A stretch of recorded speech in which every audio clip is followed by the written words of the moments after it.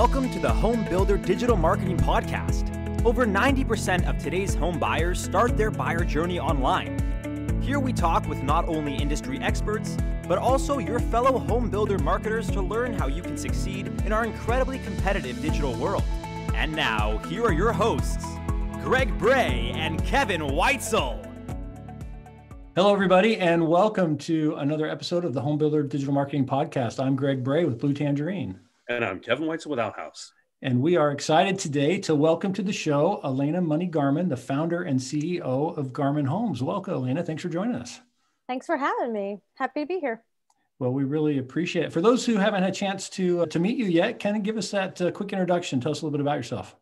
Sure. I am owner of a beautiful little home building company in North Carolina. My husband and I own it together, Garman Homes. We build uh, about 150 homes a year. We sold 200 last year. We're growing. We started in uh, 2007, which, as you know, was perfect timing for starting a home building company in preparation for 2008 when the world got weird the first time. And um, no, we just, we love what we do. We offer a really intense personal experience to our home buyers, but we build on production. So a lot of us came, Jim and I both came from home builder production backgrounds, large national companies, and we wanted to take all the good from those experiences and layer an intensely personal customer experience on top of that and built the whole company through referrals till just about last year. That's the business, Alaina. What's the personal, Alaina? Give me one factoid oh, sorry. about you that nobody on this podcast knows that nobody on this podcast something, knows. Something like do you juggle? Do you do you shoot bow and arrows in the backyard? I don't know. What do you do? I don't. Something a lot of people don't know. Some people do. I am a super nerd, like super nerd. Like for my 42nd birthday, my husband took me to Harry Potter World. and I cried. I was so happy. And when I'm depressed, when I get a, a case of the Sunday nights, I watch Harry Potter movies until I'm better. I I enjoyed Harry Potter World. I mean, we we came home and we're looking at the receipts. At how much butterbeer did we get? I mean, there's, right? there's the frozen one. There's the frost. There's the what? There's the like five different kinds. Yes, yeah. there's like five different kinds. It's like oh my goodness, tastes like frozen diabetes. Yeah. yeah. yeah. and there's even ice cream right now. I guess. Yeah. So that's good stuff. I yeah. Yeah. I can understand the emotion. I, I am super nerd. I also can roller skate really well. Backwards, forwards, the whole works. I can jump. Can you do hockey stops? No, I can do like really pretty turns though. Mm-hmm. What what I do looks like a jump, but it, it's not. It's it's more of it's just pre-fall. A, just a pre-fall. Yeah, it's a pre-fall. So yeah. Yeah, there you go. so, go. out of curiosity, you said that both your husband and you both came from uh, production home builders. Uh, is it okay to ask who you, sure. what companies you were with originally? Yeah, I started on site for DR Horton. Oh, okay. And, so, um, so Jim, just a small builder, you know. Small, little known. And then I, I worked for Cal Atlantic when it was Stanpack. And then and then eventually became Lennar. So yeah. Right. Teeny, tiny little boutique shops. well, what got you interested in home building in the first place? Why why did you decide to start working with them? So this is an interesting story. I my degrees and my background are in healthcare. I have a pre med degree and I have a master's in healthcare administration. So naturally, I became a home builder. But I went into healthcare consulting and cried every day to and from work. Hated it. And that was a different kind of cry from the Harry Potter cry. Yeah. Right. Okay. Okay. Just clarifying. Okay. Yeah, and I quit when I was seven months pregnant with my first child that's super good time to be unemployed. And I had a mountain of debt from all that school. And I kind of went on this uh, couple month trek of finding people who loved what they did because I wanted to have a job that I loved. I wanted to love what I did so it didn't feel like work every day. And um, I found the first person to answer me in the affirmative when I asked, Do you love your job? was someone who worked on site for DR Horton. And so I thought, I can do that. And so I did. And, um, and I loved it. It was really fun, and I could make enough money to pay back all that debt. And I had a flexible enough schedule that I could be with my daughter two days during the week, work on the weekends when my husband could be with her. So it was a nice balance of parenting as well. So how do you go from kind of that that new home sales? I'm assuming you're more on the, the sales side to actually wanting to kind of run the show and and and be a builder yourself. I worked for great women at great sales leaders at both of those companies. And when I was ready to move on in my career, I wanted to I wanted to become a sales manager. That was the next logical step. And my second daughter was pretty young, and um, I had entertained maybe interviewing when I was with Stanpack, but I knew it would be like a, a, tremendous sacrifice of my motherhood at that point, and my second daughter was really young, and I, I wasn't willing to work seven to eight, and and that's what it really takes. That's the kind of hours that sales managers work. So I got wind of the fact that Jim, Jim and I both worked at Garman Home, or at, I'm sorry, D.R. Horton. And then I got wind of the fact that he had started a home building company and uh, friends had connected us. And I told him I wanted to come and start his sales team. And we still joke that he didn't offer me a job. I offered myself one sales, you know, that's the best skills you can have. And I did. I started his sales team. And in 2010, when uh, we were really just fighting through the recession. We were driving through a neighborhood where another builder had gone bankrupt, and we were looking at their their home sites because we could only afford anything that was on the clearance rack anyway. And so we were looking at these lots to purchase, and I asked him, you know, from a sales perspective, the recession just seemed to me like they weren't putting the right people in control. Like companies weren't putting sales leaders in control at that division president spot. It seemed like you had to come from construction or land or operations if you wanted to be a division president at a home building company. And to me, it's I was oversimplifying, but it did it also seemed like a logical answer of like, why aren't we putting anyone from sales in charge of home building companies? Because isn't the recession, couldn't we solve a certain amount of it just by selling our way out of it? And so we had this discussion about it, about why women weren't at the top of home building companies. And he said, maybe it's because they're not coming from the construction operation side. Maybe it's because a lot of women haven't built a house. And so I said, well, then I want you to teach me how to build a house because I want to earn the, the, the chance to put myself in the ring to run this company someday. And so I built a house and I blogged about it. It's called Build Like a Girl. And it was the turning point in my career of, you know, schooling myself on how to build a home. But it, it started out as me wanting to kind of cross something off, check something off the list.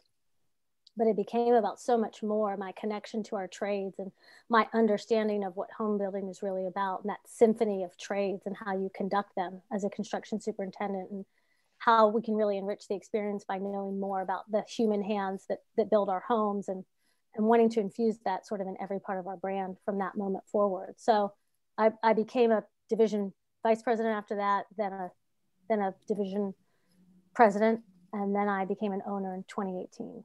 Symphony of Trades. Yes. I love that.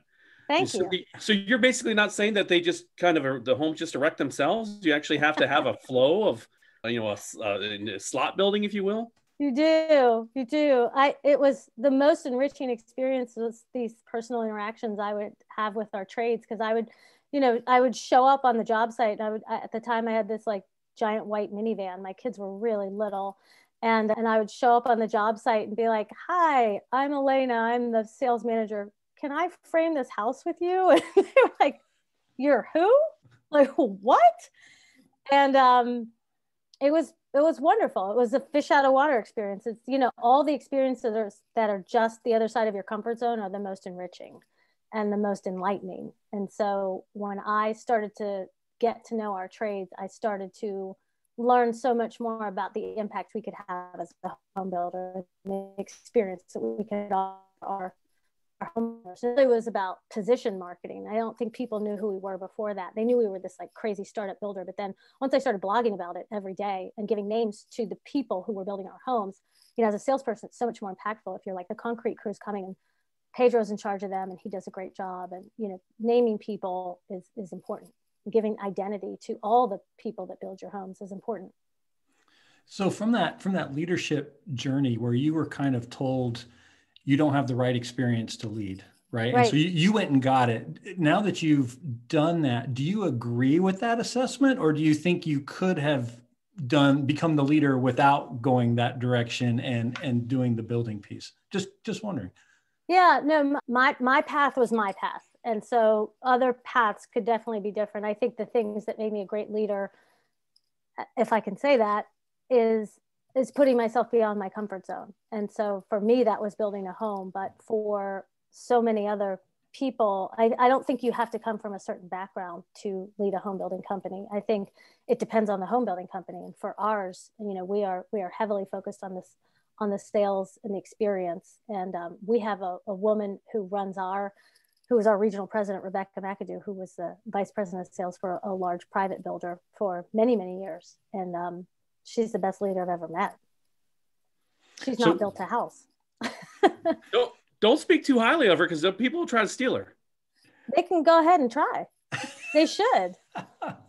She's fantastic, and I wouldn't be a good person if I if I held her back from her highest and fullest potential. But I like to believe that's with us. well, Alaina, we we recently talked with Christy Allen, who I believe you're you're friends with. You know, yes. and and and kind of this idea of of you don't see a lot of women at in in the top leadership roles in in home building do you, do you think that's changing do you think there that, that women should be in those positions more what what are your thoughts there i do i, I mean I, I i know more women today than i did in 2010 when i originally had that conversation with jim and women like christy are certainly braving their own path and and doing it in a really genuine and authentic way to who they are as people and um, Purette is, is doing that as well. And I know there's women here in the Triangle who have done it. Michelle Sims Reader with Terramore. There's a lot of great women in this industry who make space for other women. There's the Women's Housing Leadership Group where we kind of get together and, and are able to to understand our positions, understand that we're still in uh, a great minority, but trying to make space for as many of of each other as possible while also making more space for ourselves. And it's getting better but it, it has a long way to go. Well I, I, think that it's definitely gotten better especially on the sales and marketing side of things. You know there's a, a, tons of women in, in, those regards but but yeah. why what hurdles do you see women having to encounter when they want to enter the trades world why why aren't the trades going out with the shortages the way they are why aren't trades going after you know women to be framers they can handle a saw, they can read a schematic, they can measure just like any guy can. I mean, probably better. Who knows? I don't know. Yeah. So what, why why is that? What are the hurdles that are there? Is it just the the the the psychological aspect of it's a man's job? What what is it? Probably there's a lot of that. It's hard to speak to the trades because I don't know that path as well. But I remember being a little girl and no one ever looked at me and said, "Wow, you're really good at X Y Z. You'd be you'd make a great home builder." Part of the part of the problem is we don't identify jobs for women that are traditionally not held by women. You know, like when I was growing up, no one said like you're going to be a great home builder. And still, the first question that people ask me when they find out I'm a home builder was, "Was your dad a home builder? Is your husband a home builder?" And up until two years ago, my husband wasn't a home builder because I wasn't married to him. But but it's it's insulting. If you wouldn't ask a man, you shouldn't ask a woman. You know, I, I it but it happens a lot that perception you're still kind of like you know i still walk into a room when i was a division president and i was going to land meetings or you know, meeting with a developer. One time this developer we were their number one builder. I'm not going to name them. And i went to a meeting where all the builders were called for like a marketing projection for the year. And i went up and introduced myself and he said oh are you the on-site salesperson? And I said, No, I'm the division president of your largest firm builder.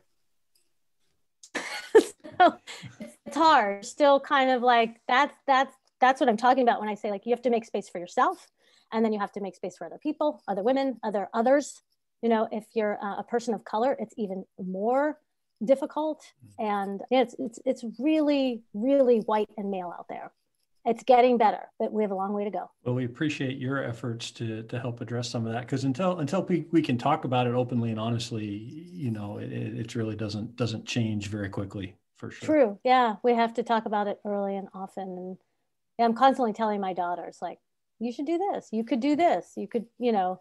I think it's being purposeful and intentional about the fact that you can do anything you want to do and that you don't have to for at least at Garman Homes, you don't have to come from those traditional avenues to ascend to a, a leadership role. You just have to be great. So be it known that you just have to be good at something, not have an aspiration to only be a princess. exactly, right? Oof. That princess culture is hard to escape. Oh, it is. It is.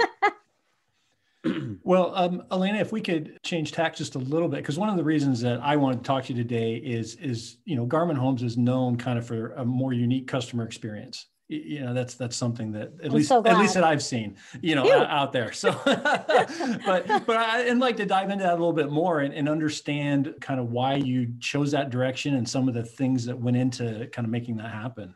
Yeah. Well, so when when Jim wanted to start a home building company, he went to the local the the man that was running the home builders association and told him he wanted to start a home building company and the guy tried to talk him out of it like dude don't do it and, and he said well if you're going to do it be different find out what makes you different. And so we have these four garman differences of things that make us different than any other home builder out there. And it's rock stars wanted which means we hire people with great attitudes and we fire people with bad attitudes including customers. And that we offer a guaranteed closing date. So we give you a closing date no matter when you sign your contract if it's dirt in a dream or if it's already being built. Everyone has works better with a deadline. And then the warranty the g team the way we come back and service your home you know your closing or that when you close on your home that's the beginning of the relationship of the of the next chapter of our relationship with you. People still text me and say like from 10 years ago like do you have my paint color? Which is great. I love that. And then give it back. For every home that we build we give back to a cause that we care deeply about. And uh, over the years, we've been able to do some significant things. Like we've built 10 um, Blitz homes with Habitat for Humanity of Durham. We have built two homes to honor the widows of fallen soldiers through Operation Coming Home. And these are significant ways that we feel like we're living into our dream of being a home building company that can change the world. You know, everyone who comes to work at Garman Homes believes that or you know that that because that's the bar we're setting we want to change the world and so we do that in small ways and big ways. And one of the small ways is just showing up with a great attitude all the time no matter what because it's easy to have a good attitude when everything's going your way and it's much harder when when things are difficult. And one of the things i'm i'm so proud of last year in addition to to hero home 22 that went to the widow of a fallen soldier was that our home builders association named us the, the home building company of the year. 2020 was a ridiculous year. It was hard and it was hard to keep a good head on our shoulders. It was scary. Oh, we had to, you know, I have a tremendous sense of responsibility for keeping everyone in our company safe and we remained essential. We never got a stop work order here in Raleigh, which was wonderful, but we had to be so careful. And I'm, I'm so proud of our, our company for earning that distinction from our peers and, and for being someone who, who can stay steady and have a good attitude and keep our eyes on on a long-term plan for our company. Alaina, you you listed four things that that drove that, right? Um, yeah. Yeah. Can you hold up the card you were reading from when you no. told me those four things, right? Because you know those inside and out, don't you? You, you didn't have yeah, to I mean, think about that, right? That yeah. that's just that's just part of what you guys have, have and, and I love that. I love that that that you have some very clear defining principles that drive every we were the question was about customer experience and we're talking yeah. about all these these four principles i, I love that i love that. Thank so just you. congratulations. I was just teasing about the card she's not reading people. You can't see she's not. So in your in your market you actually have several different types of builders. You have several different types of buyers. Yeah. What what market are you actually serving? Because i know you have the fresh paint series. Mm-hmm. uh, you know how do you how do you delineate and, and differentiate yourself in that regard? So Garman Homes has two brands, two home building brands under one company, and Fresh Paint by Garman Homes is a, a, comp, a, brand that we started in 2014 as a way of simplifying the home building process for a millennial buyer. Initial, that was our initial idea, and w- within a large master plan community, we wanted to be the from the price. That's what I like. That's my sweet spot, from the because I want to offer buyers more than they're expecting. I want to leverage all the tricks that I know about production home building and, and, and scale something with, you know, trade off for repeatability and is the fact that we get really good pricing, right? So I want to get great pricing on my home so I can offer the buyer more. And fresh paint is curated whole home design. So you pick from a package. You don't pick your selections, you know, kind of soup to nuts in a design studio. We we curate them for you and you pick the package, which means you have finished selections at the time of contract, which allows us to build your home faster, which allows us to use less people to build your homes, less less construction superintendents, less chance for error because you can't make any changes to the packages, more streamlined approach. So you don't have to take off work to come do your selections. You don't have to um, agonize over the color of grout because by the time you get to grout, people are like on the floor throwing a temper tantrum in your design studio, like it's torture.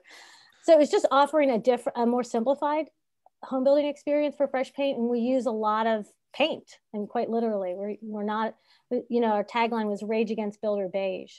because there was so much of the same. You know, it's that sea of sameness, which I call the sea of beigeness, but now it's the sea of grayness, of of using not being afraid to express ourselves in color and, and i want our homes to look like they do like the homes that you see in a magazine you know i don't want someone to come out and just not know that they were someplace special or that someone didn't put a lot of thought and energy into trying to offer as much as possible for the least amount as possible as well attainability is something i, I take very seriously so that's fresh paint it was originally millennial targeted but you know who loves it boomers I, I, am your so customer. Simple. Number yeah. one, I have no I have no fashion sense whatsoever. So you can show me swatches all day long, and I couldn't tell you what goes with what. Yeah. Two, I want to just I don't care how you put the whole menu together. I want to point at the pretty picture and say that's the steak I want. Right, exactly. And it's you know at a certain level at the upper tiers, because we have curated packages at different levels, it's like concierge level. So it goes from being super attainable to being well, yeah, we can trick out this house if you're you know there's no ceiling on the price but yeah you can go you can go crazy with it. So it's been a wild ride with fresh paint and wonderful and wait just, wait did you say there's no what to the price? There's no ceiling. ceiling? What? That's a crazy concept. Do you mean the starting price doesn't ever have a spot where it just stops? Right exactly we can't go past this this price. you must right. stop. Absolute max. You cannot spend more than this. Right. Unless well you can but the lender says So, uh, Alaina, do you see other builders starting to get into this packaging concept oh, a little bit goodness, more? Yeah. I, I, I think it's long overdue. Honestly, I'm a little surprised yeah. more aren't doing it. But what what are you? It's seeing? difficult because you have to say no. If you're going to do it right, you, and you do a curated whole home package, I have made a covenant with my trades that I will not let people mess with that package in exchange for starting me at level two or three finishes, not level one. I don't want to build a basic house. I want to build a beautiful house. I want you to give me the best price you can. But if you start letting people switch things around, like I don't like that backsplash or I don't like that paint color, and I mean, if we call it a fresh paint no, it's like that emoji with the cross. Like a fresh paint no is you don't even ask anybody if you can make a change. There are no changes because that's the covenant we made with our trades to get the pricing and be able to offer you more house for less money. But the beauty of what you do is you offer that, but then you also have another pathway for yeah. the Gregs that maybe have much better fashion sense than the Kevins do, and could come in and say, you know, right. I know how I want my house. I know exactly what appliances I want. I know what kind of backsplash I want, and you know, and what kind of flooring. Yes. You have that as well, right?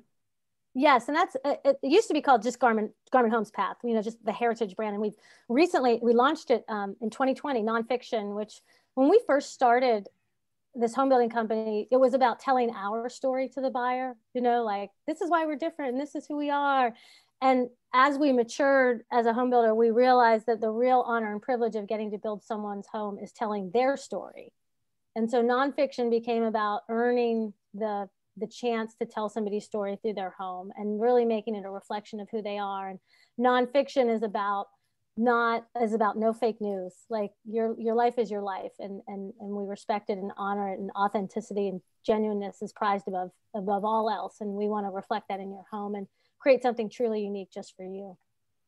Now from a digital standpoint how are you telling the story of those two pathways that your buyers can take by virtue of and maybe i'm asking too broad of a question but by virtue of how you have established how you set up your website and then mm-hmm. also how you uh, market digitally, how you send out, you know, social media campaigns. You know, how do you how do you speak to both audiences? So we used to have two different websites up until last year, which was which was a lot of work and and a lot of um, we weren't always leveraging the full impact of the brand of, of Garman Homes. And so Fresh Paint sort of had its own identity, Garman Homes had its own identity, and we had these back doors from one website to the other and back again because we build both brands in the same neighborhoods in a lot of cases. So with nonfiction, we merged the websites and kind of we, we had to fix our identity crisis of like, okay, Garman Homes is the parent, and these are our two brands. This is the Fresh Paint brand, and this is the nonfiction brand, and they exist together. It's just the experience that the home buyer chooses. And so we have to be very explicit about the fact that the four Garman differences go with both brands. You don't, there's no trade off of that. That the heritage, the, the soul of Garman Homes is in both of them, but they're just two different experiences and, and allowing the buyer to determine their own path for, for home building, what fits their, their budget and their, their tolerance, their patience, their budget, everything, how that, how that works for them is up to them. But yeah, digitally, we have to be, we have to be very explicit about, about which one, which one we're building in which neighborhood. It's kind of fun though. It's a fun little puzzle. Do, do you, do you find Alaina that, that with the with the fresh paint with the packaging things that you have ever lost a customer because they weren't able to conform to what you've got? Are you able to shift them over to the other side to keep the customer and, and, and just kind of say, no, you're, you're on, you're on the wrong side of the, the wall here. Let me put you in this room over here and then, and then we're good. Yeah, we've we've definitely shifted people between the brands when it when it's possible. I'm sure we've lost somebody for you know just not just having the fresh paint no and just saying no. There's one story this reminds me of when we had a buyer, uh, a couple, and they the they really didn't love the the accent wall color that came with their package, their fresh paint package, and they hated it and they didn't want it. They said, just don't paint it. And I said, we can't. It has to be painted, the accent wall color. Like I've negotiated with the painters, they're coming to paint it. I'm not going to change it, you know. So we we got through it, but at the end of on the closing day, the the hus the male buyer called the sales agent and said, I'm going to propose to my girlfriend when we get to the house. And so he wrote, since he was going to repaint the wall anyway, he wrote, Will you marry me on the wall? And the sales agent was hiding to like capture it for him. So it was funny, this, this like, you know, this, this impasse that we had turned into this really beautiful moment that we got to be part of. So, I mean, that's what's important building the relationship to sustain the ups and downs of the home building journey and but sticking to to our guns and and, and making sure that the the brand delivers the promise I, I think I, I don't know. I'm fascinated by this ability you have to tell your customers no and they still like you. This is this is good. This is great. Um, you know, and I think we're so scared. We're so scared to say no when it's not in their best interest. We used know? to think good customer service was saying yes all the time. And the parallel I draw is if I let my kids eat all the sugar they wanted when they were kids, they'd feel like crap. If I said yes all the time, I'd be a terrible parent. And so for me to be a good home builder, I have to be the expert. I have to love as much with tough love as I do with the, the yeses. It's when you say no, you're preserving the quality of the experience that you, you're there to offer. And so that we had to grow into that because we said yes a lot and we shouldn't have, and we, we ruined the experience. It was our own fault. I, I absolutely love that. I think I think that applies uh, to our company. We need to do a better job of that too. You know, guiding people and and being being the expert. Not that we're not, but you know, there's always room for improvement. So thank you. Yeah. I learned something today. So oh, appreciate that. so Alaina, I want to be mindful of your time today, um, and we really appreciate it. So, but as we kind of you know wrap up, uh, looking ahead, what are what are some of the things you're seeing? change with your buyers over the last year or so that that you think are going to become kind of the new trends going forward any anything come to mind that that you've been watching and looking at yeah this is a great question so we this past year we've been part of the america at home study terry slavik Yuki and nancy keenan and belinda sward did a study in the third week of april when we were all at home um, during the height of the quarantine of 3,000 households about how are they were using space during quarantine and how this changes how they use space moving forward. And they they reached out to me. Teri reached out to me and asked me if I would build a concept home based on the data that they gathered. And we said, absolutely, we will build the concept home based on this data because I don't get to build for 3,000 people, but I get to leverage the knowledge of 3,000 people and their responses. And then the second wave, which was, you know, now we're up to 5,000 people. They, there was the second wave of the study in October. And all those responses add up to a concept home that we're building in Chatham Park in Pittsboro, North Carolina, and that we'll be beginning here in the spring as soon as we get the lot. And, um, you know, spaces have changed for us and they need to keep changing. I mean, I've changed two rooms in my house to make a you know, last year it was an elementary school, a middle school, and a high school. I had a room for each of them. This year it's a high school room and an elementary school room. And, you know, I'm constantly re- redoing my spaces to reflect what I need. And I think as we're building homes, we're trying to include a hefty amount of flexibility to reflect what the buyer needs. Is someone going to work on the front line? Do they need to, you know, shower immediately upon reentry to the home and does that need to live right off the garage now? Does there need to be a bathroom right there so that people can sort of decontaminate before they go into the shared space of the home? So we're really exploring how the home needs to meet someone where they are in their lives. So if you're doing you know we're doing life from home right now. We're, we're doing school playtime all of these different adaptations we've made to our spaces. And, and certainly people need workspaces because a lot of people are going to continue to work from home but you know they don't want to take up a whole bedroom. So it's how are we mining the floor plans for thoughtful spaces that were always there but we weren't arranging the space to maximize it is that is that a report that's out there that others can see the yeah, the, the America at Home study. Yeah, they okay. can go check it out, and then we will we will start that building here, and I get to build it, which I'm super excited about. I haven't built a home in a, quite a long time, so yeah, I'll be running construction on that with my husband and another another builder who will make sure I don't mess up his neighborhood. are you are you going to be blogging that one too, like you did before? We are. Okay. Yeah, I am right. going to blog about it. I think we're going to do a lot more on video though, because I, I certainly like to write still. I love writing and I love speaking, but sometimes it's easier to catch catch it in real time on YouTube or wherever. My husband's good at the the film editing. Okay. I'm not. All right. Well, we'll we'll have to uh, we'll have to have you back uh, next year after that's done. See ah, how, see how it goes. So thank you. So. I'd love that. So, uh, Alaina, is there any last uh, little pieces of advice or anything that you'd like to, to, you know, you got some some home builder marketers listening out there. You know, your chance yeah. to to to dump on them however you want to. You know, what give us give us your best shot here. What do you got for us? They have enough dumped on them. I don't anything on them.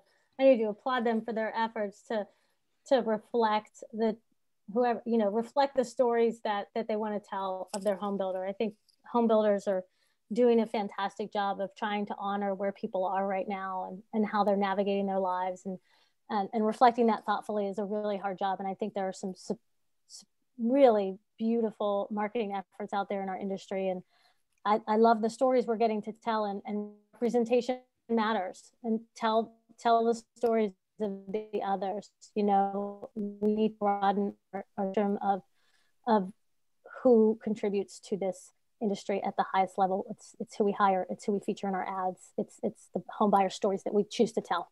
So go to the edge on that. Terrific. So everybody makes mistakes. Everybody yeah. does.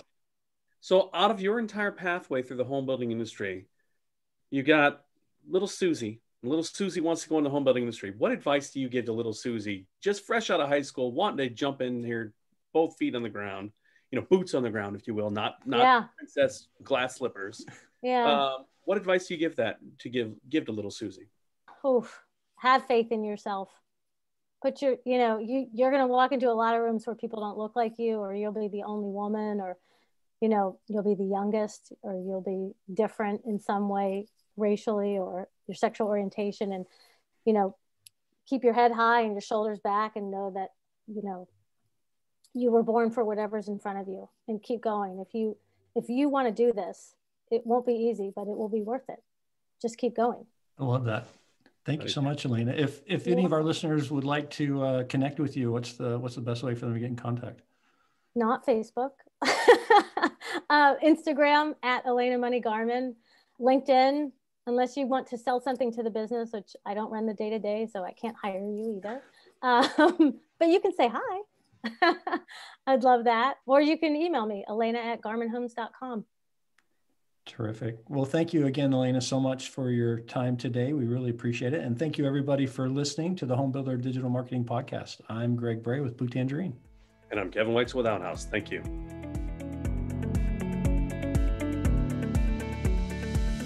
Thank you for listening. To learn more about how Blue Tangerine and Outhouse can help you generate more qualified home buyer leads, visit bluetangerine.com and outhouse.net. If you've enjoyed our show today, please tell a friend, leave us a review, and subscribe on your favorite podcast platform. Be sure to join us again on the Home Builder Digital Marketing Podcast